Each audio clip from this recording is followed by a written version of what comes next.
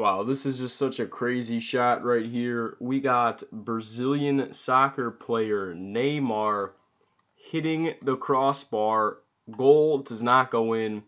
Just an insane, uh, you know, not not a goal. I mean, soccer, uh, you know, you only get a couple chances to score a goal, and you need to capitalize on those opportunities because if you don't, you know, it's uh, you know, if you don't capitalize on them opportunities, you're not going to get too many of them in the game.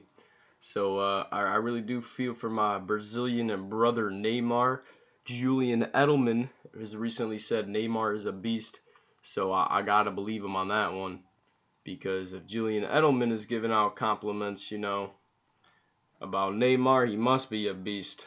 But crazy goal didn't go come in. Tell me if you guys have any crazy stories about when you were playing soccer and the goal didn't go in or something crazy like that. This is a community channel, guys. Uh, we'll see y'all later.